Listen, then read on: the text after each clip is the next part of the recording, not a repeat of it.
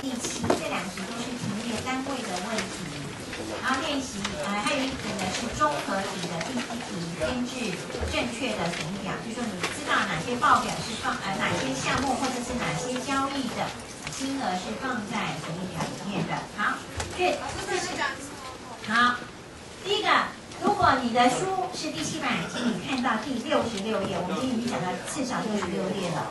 那回去做的练习，请你做第二章的练习题第六跟第七，这两题都是属于停业部门的报道方式。好，也有很多计算。七十六页。呃，对。不是八十一页的第六题跟第七题。好，第七版的话，第六题跟第七题，还有综合题的第一题。好，这次呢，我没有教大家交作业哈。之前呢，这个交作业我觉得很感谢哈。反正总而言之，我让大家，因为我想如果题目都太多，大家可能会觉得啊，太多反正就不完，就算了。所以我当然，我就勾每次还是勾几题给你们，然后我希望你们自己去做练习。好这样子至少你有一个范围。那我应该讲过了，千万不要看着题目对着答案说，嗯，作者写的很有道理，就是这样。因为考试的时候，没有作者的题答案可以让你们在旁边看他写的有没有道理，却不是你在判断他写的有没有道理。看到题目，我一定要请你啊，要自己试着记得自己尝试先做，做不出来。想不起来为什么该怎么做？好，所以你就去看一下后面的答案。好看了，我觉得先看一部分就好了。那你看知道他呃看完了，你想想看他的原因在哪里？接下来你要自己做。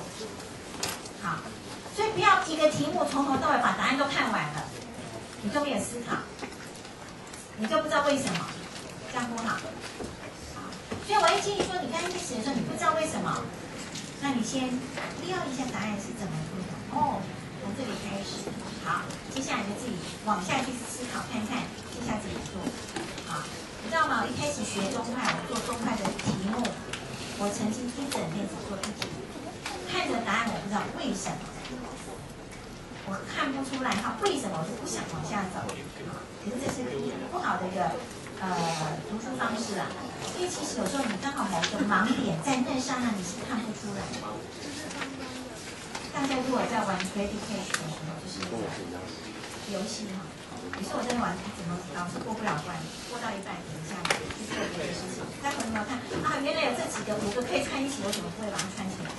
这是个，这是一个比喻，就是说，你知道你一直在钻钻头的牛角尖的时候，你其实很多东西你是看不到的。你反而得不到答案。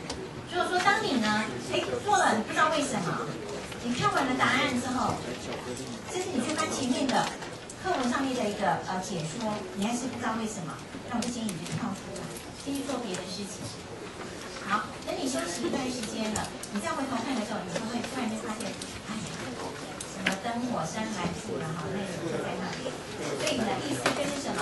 你就很容易把问题看出来。可是你一定要知道为什么，所以呢，很多同学来问我说：“哎，我已经花了很多时间，呃，做会计题目，做了两次、三次，可是我考试出来都是，考试出来的结果都不好。”那我说：“那你怎么做的？”好，两次、三次都是看着题目对着答案，那你自己都没有去思考啊，这样的答案永永远不会是你的。所以我说呢，你。做题目不在多而在精，你搞清楚为什么是比较重要的。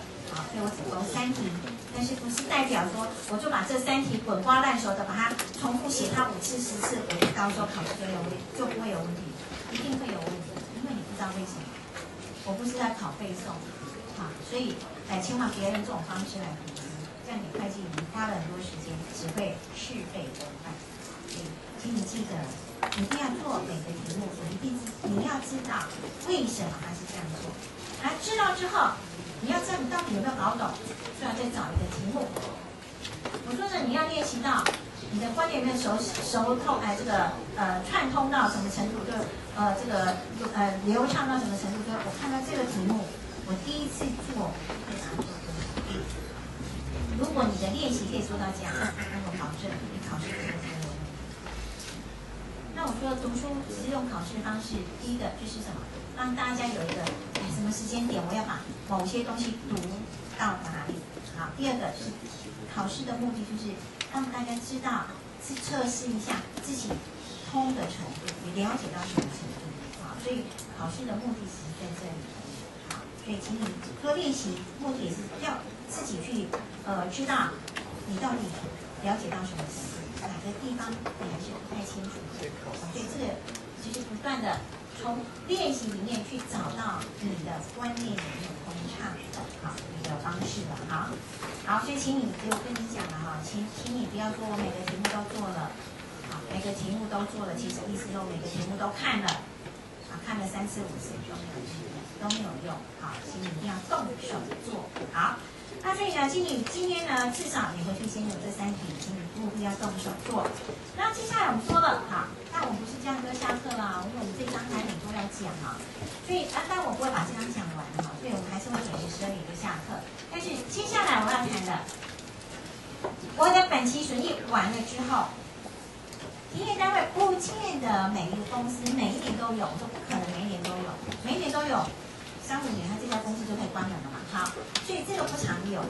但是接下来要讲的，我们现在叫损益表呢，我们不叫做损益表，我们叫做综合损益表。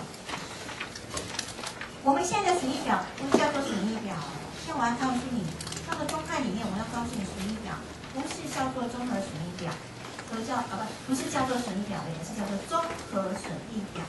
原因在哪里？原因就是在于我们在本期损益之后开始要放的是其他综合损益。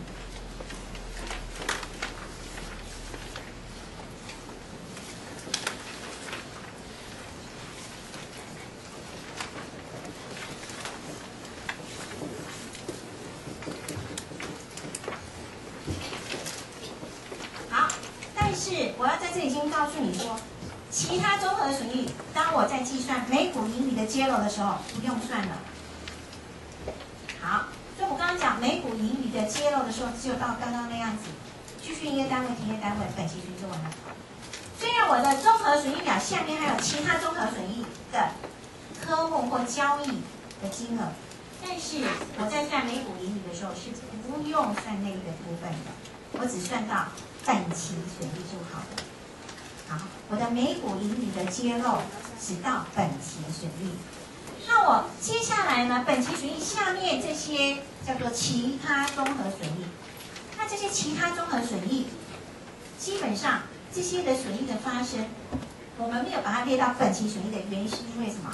它不是很快就会实现的，它不是很快会实现，所以我们只是把它放在，但是它对于公司的损益或者是你的报表是有影响的。在呃，为什么第五版你不要看？第六版我觉得你还可以用。如果这本书的第这本书的作者第五版就不要用，为什么？因为在第五版的时候呢，他一定要把其他综合损益放进来。在以前呢，如果你看以前的报表里面，其他综合损益它只会放在资产负债表的股东权益项下，它叫做累计其他综合损益。累计其他综合损益在资产负债表，它不会发现放在损益表里面。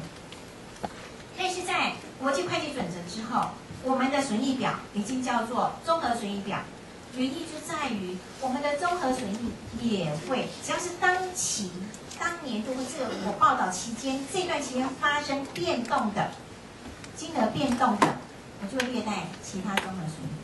所以你要记得，其他综合损益它的金额是指当年度或这个报道期间异动的金额，但是。我的资产负债表还是在股东权益底下。我们现在在国际会计准则，它不叫股东权益，它叫权益。我们的分成资产负债权益类这三类，以前我们叫做资产负债股东权益，对不对？国际会计准则就把股东拿掉，叫 equity 类，就叫权益类而已。好，但是里面的组成还是一样，没有什么不一样。好，只是名称稍微有一点点调整。好，那我们在国际会计准则的。资产负债表底下权益的底下还是有放综合损益，只是它叫做累计其他综合损益。累计的话，就是指以前啊期初加减今年度异动的得到期末的金额。这是累计的意思是什么？以前年度发生的数字会并进来，但是损益表上面的其他综合损益只放的是当年度有发生变动的。这样听懂吗？因为损益表是什么？我只报道这个会计期间的金额啊，所以以前年度发生的跟今年度没有关系，我不会把它放进来。好，所以损益表只报道是当年度发生的，所以其他综合损益我也只计算或者是只报道的是当年度发生的。好，之前年度发生的，我只会什么累积到股东权益底下，对对不对？我累积到资产负债表的权益底下。好，所以资产负债表的权益下面放的叫做累计其他综合损益，但是我们的损益表上面放的损综合损益叫其他综合损益，是指当年度发生变动的金额。好，所以是第一个，请你要先记得。那这个第五版里面，可能我们的损益表就没有特别去讲其他综合损益，所以第五版我会觉得太遥远了一点，所以今年不要用，因为它变动比较多。好。那接下来我们看一下其他综合损益呢？我刚才先强调了，因为它不是很快会实现，所以我不会直接放到本期损益里面。但是它对于公司的这个报表是，对于公司的资产负债是有影响的，所以我们才会把它放在我们的资损损益表里面，来列单独放在综合损益下。所以其他综合损益。跟本期损益一直并下来之后，我们最后得到的是本期综合损益。好，本期综合损益呢，是指本期损益跟其他综合损益合计下来的东西，我们列在一个项目叫做本期综合损益。好，那本期综合损益我刚已经强调过了，我在计算每股盈余的时候不用去管销毁损益的部分。原因就在于综合损益，它不是很快会实现。好，它不是很快会实现。那像对公司的价值有没有变？有没有影响？有一些影响。可是它不是很快会实现，所以我就不会列在本期损益去计算我的每股盈余。好，那我们这边呢？其他综合损益有几类的交易？有五类的交易。好，这五类的交易。我们要花点时间来解释它是什么，所以我们今天讲不完。好，所以到这里我至少请你要把它搞清楚。好，我们在算每股盈余的时候，我们只会把计算到本期损益。本期损益下面，因为我们现在国际会计准则要求编的是综合损益表，所以损益表中本期损益后面会有其他综合损益的项目。那其或者其他综合损益的科目或交易产生，那这些呢，在损益表报道的是当年度发生异动的金额，就当年度的金额而已。但是，比如如果以前发生的呢，我会把它并记，就是我们会放在负资产负债表的权益底下，我们叫做累计其他综合损益。所以，累计其他综合损益是报道年度期末啊。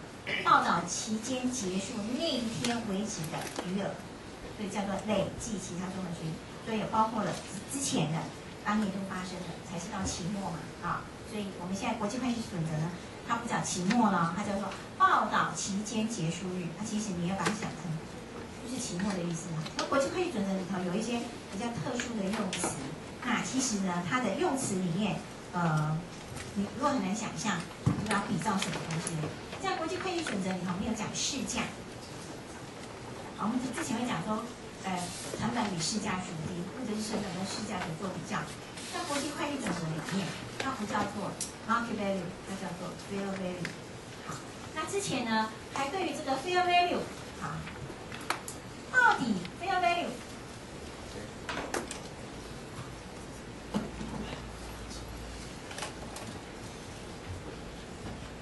好之前一开始有讲公平市价，好，后来我们现在讲的公平价值，我们现在统一的解释翻译就用叫做公允价值。好，所以你就把它讲成什么叫做 fair value，什么叫做公允价值，你就把它想成市价就好。那当然它不代表呃市价，因为市价是指你有市场交易的价格。基本上叫做 market value，是市场上有这样的交易而产生的价值的价格。可是市场事实上，因为很多东西可能没有真正的市场的交易的资料出来，我只是用其他的方式去评估出来它的价值，所以它不叫做市价。这样的用词就很精准了啊！就因为它不是真正有市场交易出来的价格，所以它不能叫做市价。我只是用很多其他的参考因素，或者是其他的评估方式得到的价值，我们叫做公允价值。啊，所以我说，哎，有些想公允价值是什么？你就把它想成，就以前我们习惯上面所讲的市价。其实现在国际会计准则里头，对于市价，它是要很精准的用词，好，就是真正有市场交易出来的价格，我才叫做市价。那如果没有真正的市场交交易出来的价格，你取代很多东西都没有啊。比如说好了，也同样一栋大楼，好，同样一栋大楼，地保哈，五楼卖的价格跟二十楼卖的价格不一样吗？你说那五楼五楼卖掉的金额，呃呃，二十楼卖掉的金额，好，一平是二十呃两百万，那我五楼就可以卖到一平是两百万嘛？虽然应该是地保，位置一样，建筑公司一样，同一年级盖好的，但是它的地理位置不同。我们是地理位置吧，应该是说高度不同，视野不同，价值就不会一样啊。啊，说不定有时候是什么？最近听到一个新呃广告，什么千金买屋，万金买邻，就是说你的呃邻居很重要。好，所以哎，也许那个二十楼的呃虽然图那个视野比较好，可是五楼的旁边的邻居很好啊，很能够守望相助啊，这个。你也不能说出它的价值是多少，所以这个很难说哦。二十楼是卖了每平两百万，五楼就可以卖多少钱？没有办法。可是我们就是什么，可以用一个什么公允的价值去评估，因为其他的这个参考价值之外，我们有其他的因素去把它评估出来它的价值，所以我们叫做公允价值。好，所以我说你有些用词会很，你会觉得很拗口。就像我说期末，我们现在讲说你会计年度结束的时候，期末要做什么？期末要做什么？现在不对哦，国际会计准则说报道期间结束日，好，就多了这么多的文字出来，其实它的意思都是一样的，好，只是它用字它是这样用而已。好，那我刚刚提到呢，这个地方呢，在我们的其他综合损益所发生的，不是每一家公司都有，但是如果它有了之后，可能每一年都有。可能每一年，我说可能，啊，因为每年可能价格都会发生一些调整，所以是可能每年都有，但是不见得每一家公司都有。所以这五类的交流有哪些？第一个，资产重估增值。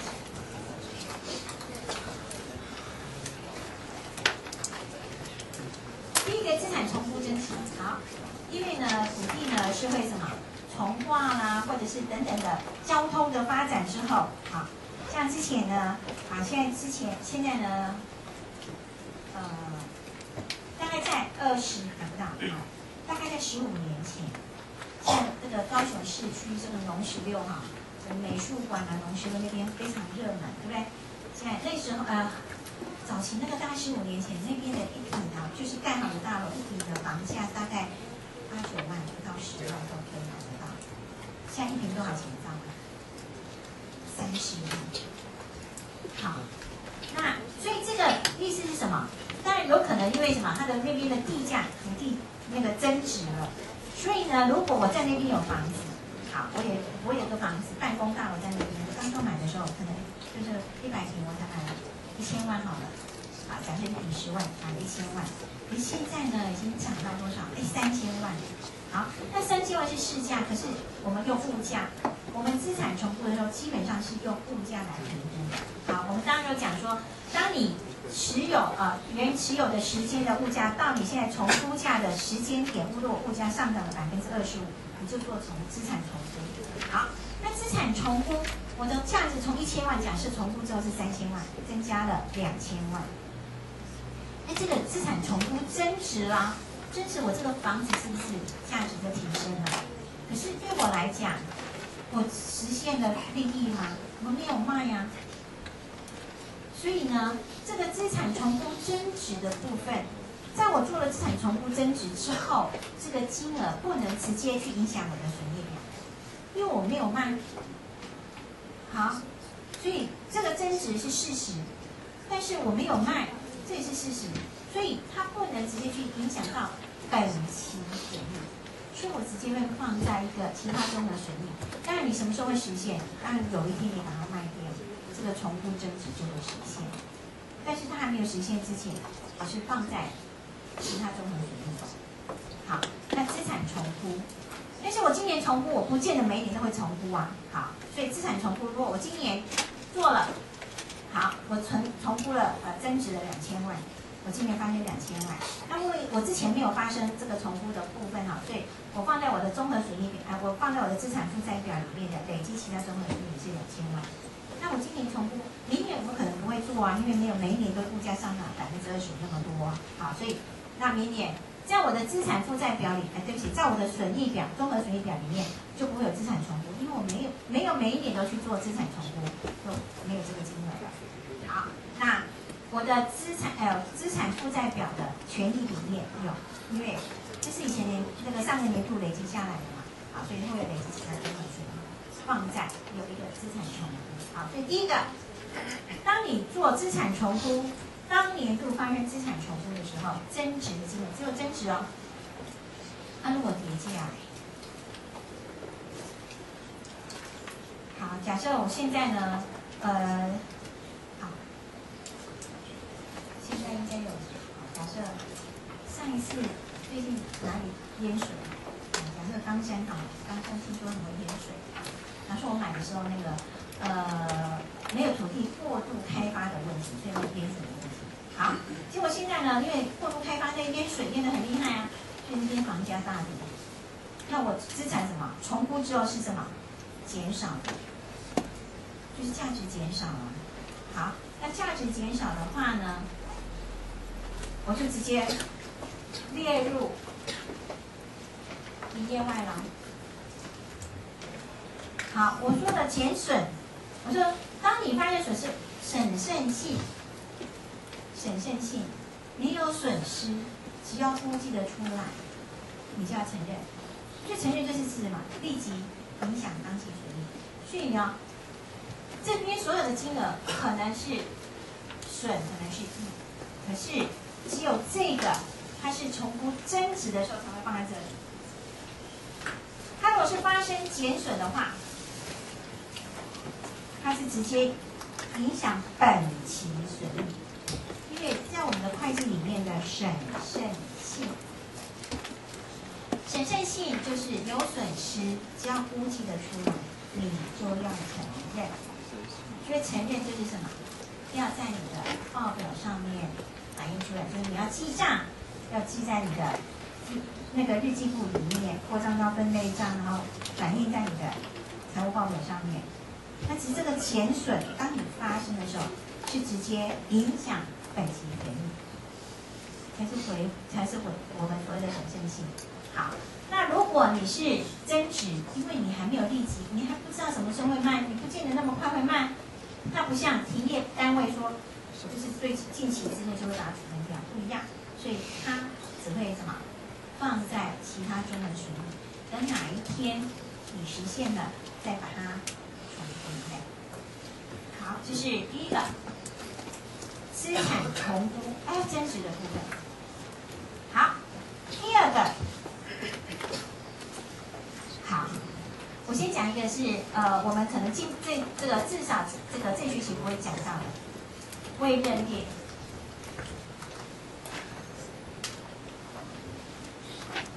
退休金。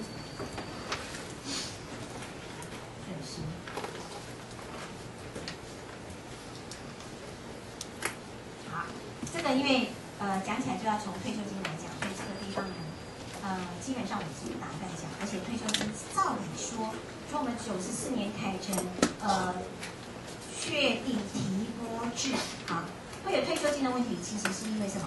我们的确定给付制之下才有退休金的会计处理。如果是确定提拨制，其实是没有退休金会计处理的呃问题的。好，那这个。因为民国九十四年之后，未来你们去工作的时候就没有啊，你们的退休金未来都是什么？确定提拨，也就是说雇主每一年固定从给你的薪水提拨百分之六到你的个人账户，就百分之六。好，那以前的退休金叫确定给付。好，确定给付说，根据你在公司的过年资，根据你的薪水等等等等等。好，你退休之后，我确定给你多少？退休金，这个叫。好，那确定给付，因为它有不确定性，因为我也不知道你什么时候退休，退休那时候你的那个薪水会多少，这个都还什么用估计的方式，所以那个时候才会有这个问题。那现在确定提拨是你，我给你薪水五万块，我每个月就自己拨三千块到你个人账户，没事了，以后够不够花那是你的事啊。好，所以这个就是确定提拨。那这个确。但是呢，在我们九十四年之前，我们的退休金的办法是确定给付制。就确定给付之下，因为未来不确定，所以他用估计的。那既然估计的话，当你的精算假设发生变动的时候，你这个东西就会怎么调整？那因为调整精算假设可能，呃，会呃，也不能说常常常嘛，哈。可是它变动，你假设一个你在跟一家公司工作三十年，精算假设变动可能。会发生了很多次，所以你每次一发生就马上去调整你的当期损益，影响你的退休金费用的话，那一个公司的损益的波动就什么就会比较大起伏，会比较频繁。那其实这个也不是他自己本身造成的影响，所以我们对于退休金未认列的净损失，我们就会什么先把它放在其他中啊。那这个基本上我不会去讲它。这个我们应该呃在讲固定资产的时候会提它，因为我们我估计我们到下学期也不可能讲到退休金的会计处理啊。一则我也不太想讲，因为九十四年之后就没有确定几付制的问题了。虽然前两年的国考常常出退休金的会计处理问题，我现在也不懂，因为基本上。十五年，可能就没有。九十四年再过个十五年，因为那时候常常那个时候有很多人公司呃在公司服务的人呢，就会问我说，那他要不要把它改变成确定级、确确定级播制？啊，就问我要不要做这件事情。好，那就其实每个条每个公司状况不一样，就很难说啊。所以我预计呢，其实从九十四年再加个十五二十年，好，十五年差不多一百零九年，可能就会有这个退休金的。确定给付之下的十八号公告要处理的问题了，对，这个在我们不允许的时间之内，我们不会做，不见会啊，不太会有。啊，今年好？去年好像只有出选择题吧，前两年出过啊。那这个这个，因为我我觉得没有没有去讲它的意义，就是因为未来不会有这个会计处理的问题。好，所以这个我先讲。后面还有三个。交要花点力气去讲它，所以呢，我们就先不讲到这。所以我刚刚才讲说，这两个先讲，其他综合损益有五个课，来在我们的六十个月前，至少有五个五个交易类型，就放在这里。我先讲前面，前面两个配合金的，我要记住它。好，资产重复的，我们在讲固定资产的时候，先把这两个讲一次。另外三个交易形态呢？在下个礼拜再来跟大家做说明，这三个交易，大概